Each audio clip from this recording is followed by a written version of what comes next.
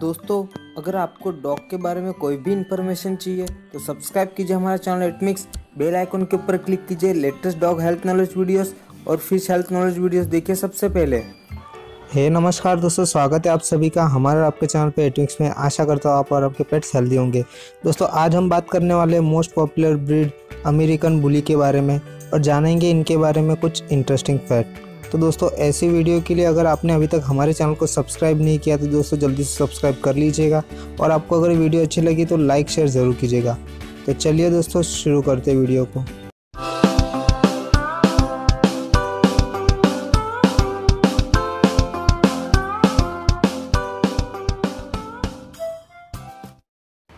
दोस्तों, American bully का origin United State of America से और इनको बहुत सारे नामों से जाना जाता है। जैसे कि बुली पीट और अमेरिकन बुली पीट। और दोस्तों, इन डॉग्स को 1980 से लेकर 1990 के बीच ढूंढा गया था। और इन डॉग को फैमिली डॉग कंपेनियन किया गया था ताकि ये फैमिली के साथ अच्छे से रह सके।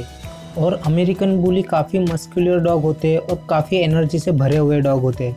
इसलिए ज़्यादातर लोग इसे हल्का नाम देते हैं, क्योंकि ये हल्क तरह इसकी बॉडी होती है, इससे ज़्यादा करके ऑनर इसका नाम हल्क रखते हैं। अमेरिकन बुली का हेड साइज़ काफ़ी बड़ा होता है और सभी डॉग में से इन डॉग्स का हेड साइज़ काफ़ी बड़ा होता है। और दोस्तों, अमेरिकन बुली कई टाइप के होते हैं, जैसे कि अमेरिकन स्टैंडर्ड बुली। ये डॉग आपको जो है लार्ज साइज़ और मीडियम साइज़ में देखने को मिलेंगे। और ये डॉग अपने ऑनर के लिए बहुत ही प्रोटेक्टिव और लॉयल डॉग होता है और अपने ऑनर के साथ अच्छा बॉन्ड बना लेता है। और जो दूसरा टाइप है, वो है अमेरिकन क्लासिक बुली। और इनके लक्षण अमेरिकन बुली की तरह होते हैं। और इन डॉग के अंदर मांस की मात्रा बहुत ही कम होती है। और ये डॉग अमेरिकन टेरियर और अमेरिकन बुली से इन डॉग से ज़्यादा हल्के होते हैं। और जो तीसरा टाइप का डॉग है वो अमेरिकन पॉकेट बुली। ये डॉग सारे बुली डॉग से साइज़ में एकदम छोटे होते हैं और आसानी से मीडियम साइज़ या फिर स्मॉल साइज़ के घर के अंदर आसानी से रह सकते हैं। American extreme bully. और ये बुली डॉग सारे बुली डॉग की तरह ही सेम होते हैं। और जो नेक्स्ट टाइप का है वो है अमेरिकन एक्सेल बुली और ये डॉग बाकी बुली के अलावा साइज़ में और हाइट में काफ़ी बड़े होते हैं। तो दोस्तों, ये पाँच टाइप से बुली के। आपको कौन सा अच्छा लगा, मुझे कमेंट सेक्शन में ज़रूर बताइएगा। और ये सभी डॉग एकदम लॉयल वफादार और अपने ऑनर के प्रति काफ़ी लॉयल होते हैं। अमेरिकन बुली अपने फैमिली के लिए काफ़ी प्रोटेक्टिव और लॉयल होते हैं। और इस डॉग को फैमिली के साथ रहना काफ़ी अच्छा लगता है। इसलिए आप जितना हो सके इस डॉग के साथ अपने फैमिली के साथ रहने दीजिएगा। इसको अकेला छोड़ के ना जाए। और अमेरिकन बुली को ट्रेनिंग देना काफ़ी आसान और इजी होता है। ये जल्दी से ट्रेन हो जाते हैं। और जब इन डॉग का मूड ना हो, तब इसे आप ट्रेनिंग बिल्कुल ही ना दें, क्योंकि ऑनर की बात तब कभी कभार नहीं मानते।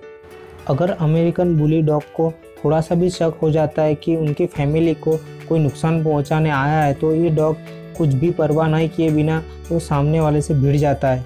फिर चाहे सामने कोई भी हो इसलिए इस डॉग को एज अ गार्ड डॉग भी कई लोग रखते हैं। और ये आपके घर की और आपकी सुरक्षा काफ़ी अच्छे से कर लेगा। और ये डॉग मीडियम साइज़ घर में और लार्ज साइज़ घर में आसानी से रह सकते हैं। बट इस बात का ध्यान रखिएगा कि आप स्मॉल साइज़ घर में इन्हें ना रखें। इन डॉग को प्रॉपरली सुबह और शाम वॉकिंग पे ले जाना काफ़ी ज़रूरी है। और दोस्तों, इन डॉग की हाइट और वेट की बात करें तो ये हर टाइप में अलग अलग और डिफरेंट साइज़ और हाइट होती है। क्लासिक बुली में मेल की हाइट होती है 18 से 19 इंच और फीमेल की हाइट होती है 17 से 18 इंच। और स्टैंडर्ड बुली की बात करें तो मेल में होती है 70 से लेकर 19 इंच तक और फीमेल में होती है 16 से लेकर 18 इंच तक। और दोस्तों पॉकेट बुली की बात करें तो मेल में होती है 17 से इंच से कम और फीमेल में होती है 16 इंच से कम। और एक्सट्रीम बुली की बात करें तो इनकी साइज़ और हाइट कुछ फिक्स नहीं होता। और अमेरिकन एक्सेल बुली की बात करें तो इनमें मेल में होती है 20 इंच से ज़्यादा और फीमेल में होती है 19 इंच से ज़्यादा। और अमेरिकन बुली की लाइफ स्पेन की बात करें तो आठ से लेकर 12 साल के बीच होता है। और इन डॉग का कोट होता है और शॉर्ट कोट होता है, इसलिए आप वीक में एक या दो बार इसे ब्रशिंग कर सकते हैं। और दोस्तों, इन डॉग को अगर आप बेबी के साथ पहले से सोशलाइज करें तो काफ़ी अच्छा रहेगा, फिर आगे जाके बेबीज़ के साथ अच्छे से रह सकेगा।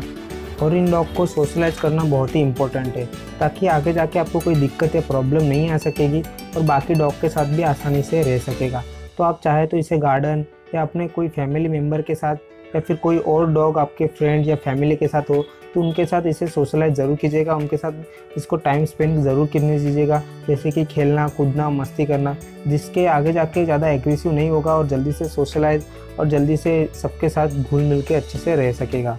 और दोस्तों, इन डॉग की प्राइस की बात करें तो ये पच्चीस हज़ार से लेकर पिस्तालीस हज़ार तक आपको आसानी से मिल जाएगा। इससे ज़्यादा या कम भी हो सकता है। और ये डॉग काफ़ी सेफ़ है, इसलिए अब अगर फ़र्स्ट टाइम डॉग ऑनर हो तो आप इसे आसानी से बाय कर सकते बट आपको इसको रोज़ ट्रेनिंग सोशलाइज ज़रूर करना पड़ेगा ताकि आसानी से आपकी बात माने और अच्छे से एक फैमिली डॉग बना रहे। और इन डॉग के ऊपर आप खाने पीने में ज़रूर से ध्यान दीजिएगा ताकि आगे जाके इसकी हेल्थ काफ़ी अच्छे से ग्रो करे। तो दोस्तों, आशा करता हूँ अमेरिकन बुली के बारे में कुछ इंटरेस्टिंग बातें, कुछ इंटरेस्टिंग फैक्ट मैंने बताया, आपको अच्छे लगे तो दोस्तों, ये वीडियो को लाइक और शेयर ज़रूर कीजिएगा।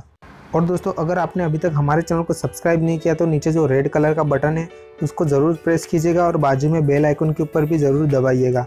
ताकि जब भी हम नई वीडियो अपलोड करें, उसका नोटिफिकेशन आपको मिलता रहे और आप अच्छे से वीडियो देख सकेंगे और आपको और भी इन्फॉर्मेशन मिलती रहेगी। अगर आपके मन में कोई डाउट या क्वेश्चन है तो आप मुझे इंस्टाग्राम पे भी फॉलो कर सकते हैं या फिर कमेंट में भी पूछ सकते हैं। इंस्टाग्राम पे मेरा पेज है एटमिक्स वहाँ पे भी जाके हमें फॉलो और मैसेज कर सकते हैं। वहाँ पर भी मैं नए और इंटरेस्टिंग अपडेट देता रहता हूँ। तो दोस्तों, आशा करता हूँ आपको वीडियो अच्छी लगी तो मिलते हैं ऐसी इंटरेस्टिंग वीडियो के साथ। Thank you for watching